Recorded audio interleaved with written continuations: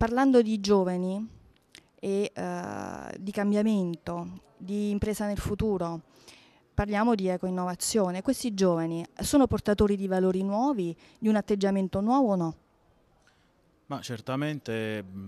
la, il futuro dell'impresa oggi passa attraverso diciamo, tre eh, aspetti fondamentali che sono i giovani appunto, eh, l'ambiente e l'innovazione. Quando parlo di giovani mi riferisco in particolare ad un, um, ad un, processo che sta interessando molte delle nostre aziende perché molte di esse stanno attraversando quello che va sotto il nome di passaggio generazionale, quindi eh, cambia la guida, cambia anche la leadership e, e questo processo sicuramente eh, porta una nuova linfa per le imprese, eh, nu nuova linfa, nuovi programmi, nuovi modelli di sviluppo per, per le imprese. Tra questi c'è sicuramente quello che eh, punta tutto sulla green economy. Le, ma per poter attuare questi, questi, piani, questi programmi, inevitabilmente eh, occorre fare, compiere un vero e proprio salto culturale, un vero e proprio investimento in cultura. E questo investimento non possiamo farlo altro che non, se non noi, noi che siamo appunto i giovani, noi che,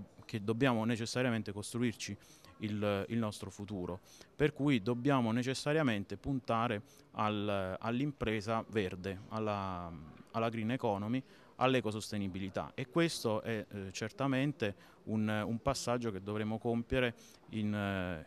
in tempi molto, molto, brevi perché ci sono molti paesi che, eh, che già stanno puntando in questo senso, eh, penso non tanto ai paesi europei come per esempio la Germania che in questo è sempre molto avanti, ma anche la stessa Cina, l'Asia che magari noi siamo abituati ad immaginare come il paese che inquina, ma in realtà così non è, perché eh, molte imprese che si trovano anche in Cina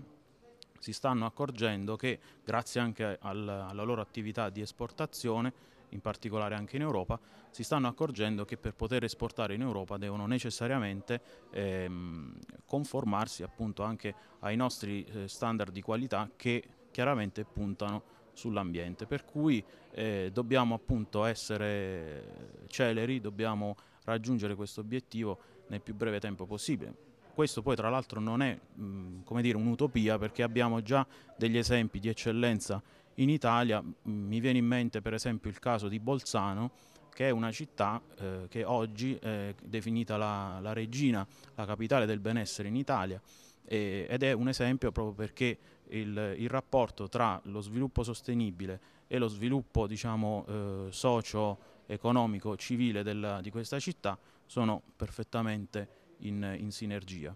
Tra l'altro è una città che attrae anche eh,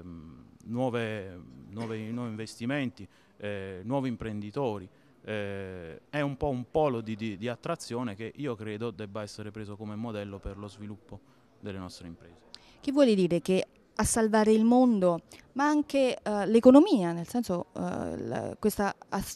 economia tanto attesa, questa ripresa tanto attesa, saranno proprio i giovani a salvare il mondo? Beh, eh, indubbiamente noi siamo, siamo, chiamati a compiere questo, eh,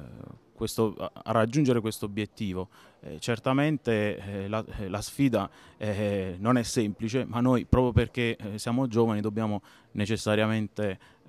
dire, raccogliere questa sfida con quell'entusiasmo che poi è tipico dei giovani di, di Confindustria. Sono bamboccioni questi giovani o possono fare qualcosa di importante? No, non sono bamboccioni, ma sono dei, dei grandi combattenti e, e, hanno anche, ripeto, un, un, grande entusiasmo e un grande coraggio. E credo che eh, in questi tempi avere coraggio è veramente, eh, no, non è da tutti. Ecco.